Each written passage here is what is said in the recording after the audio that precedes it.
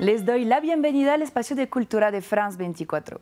Abrimos este programa con dos series que nos llamaron la atención en enero, empezando con Caleidoscopio de Eric García en Netflix.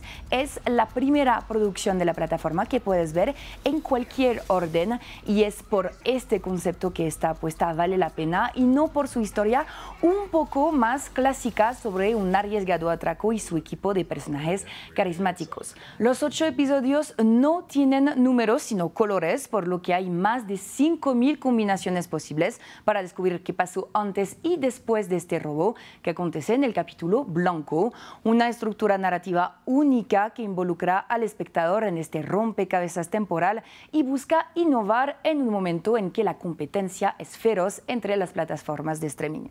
Otra serie sobre la que se habló mucho este mes es The Last of Us en HBO Max, escrita y producida por Craig Massin y Neil Druckmann. En esta adaptación ya aclamada por la crítica de las muy exitosas franquicias de videojuegos de PlayStation, seguimos el viaje de dos supervivientes de una pandemia provocada por un hongo que hace mutar a los seres humanos en criaturas caníbales. Es una serie sangrienta, pero también con un buen desarrollo de las emociones de los personajes y visualmente preciosa. Miramos el tráiler. Purpose than any of us could have ever imagined.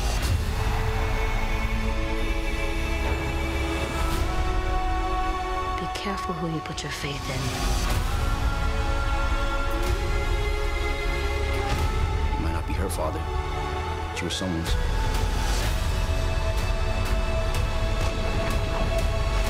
You trust me? Hablamos ahora de la edición número 13 de My French Film Festival, el primer festival de cine en lengua francesa totalmente en línea. Solamente necesitan un computador y una conexión a Internet para poder descubrir gratis y con subtítulos en español los 29 largometrajes y 10 cortometrajes que hacen parte de la programación de este año. Les recomendamos en particular la delicada película Una historia de amor y de deseo de la directora Leila Boussid. La pueden ver como las demás en el sitio web del festival myfrenchfilmfestival.com. En otras noticias, Italia dijo adiós a una de sus máximas representantes del cine y la fotografía. Gina Lollobrigida falleció el 16 de enero a los 95 años. Actuó con los más grandes de su época en los años 50 y 60 como Frank Sinatra y Sean Connery. Después de una exitosa carrera en Hollywood, regresó a Italia para volver a su primer amor, la fotografía y luego la escultura a la que se dedicó por completo hasta el final de su vida.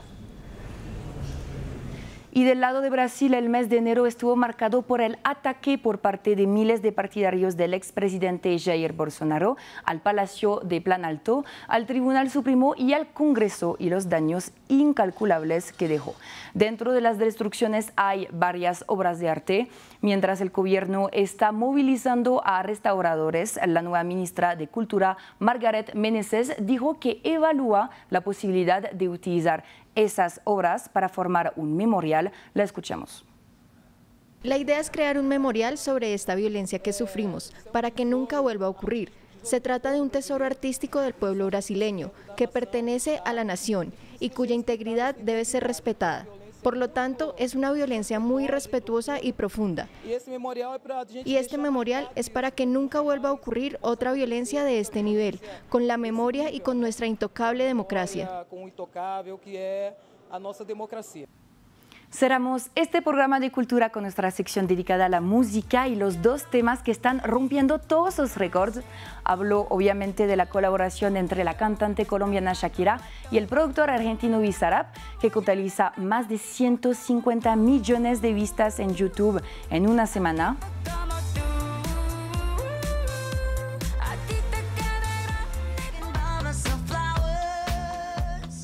Y de la nueva canción de la estadounidense Miley Cyrus, Flowers, que se posicionó directamente número uno en las escuchas de la plataforma Spotify. El punto en común, letras que hablan de las exparejas de las dos estrellas de la música.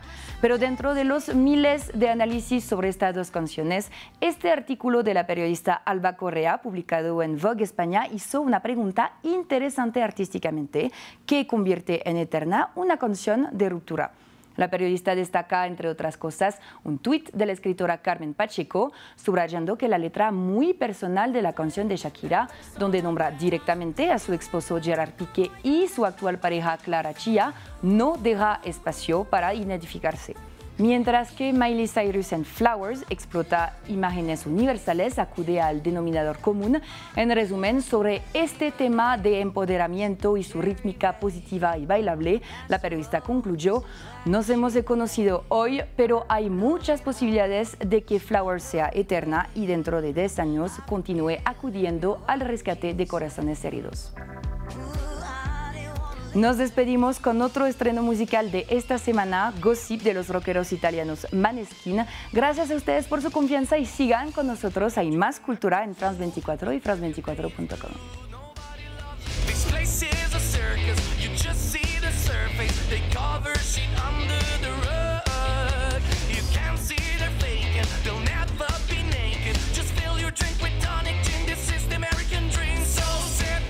gossip, drink burn.